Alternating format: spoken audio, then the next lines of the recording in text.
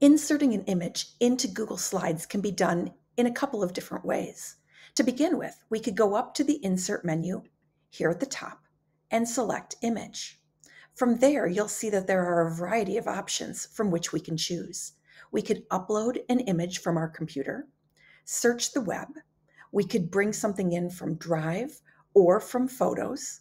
If we know the direct URL, we could utilize it to insert the image, or we could launch the camera.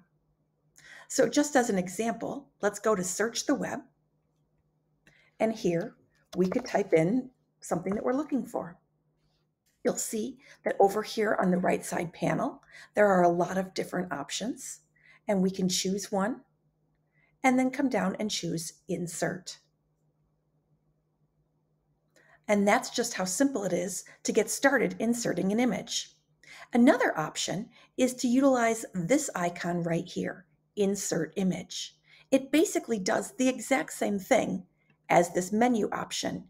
You'll see the insert image icon is the same. So if we click here, all of those same options exist.